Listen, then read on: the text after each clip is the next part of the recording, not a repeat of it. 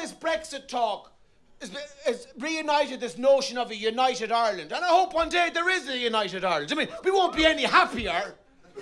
But it, you know, it, might, it might kind of, uh, it might right some ancient fucking wrong. Perhaps, maybe. It'll be interesting anyway.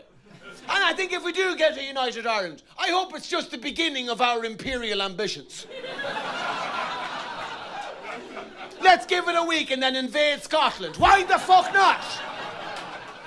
It on a bank holiday Monday, we'll catch them on the hop, and then city by city take over England until the day Liverpool are playing Kilkenny in the first round of the Leinster Hurling Championship. That'll be a day worth waiting for.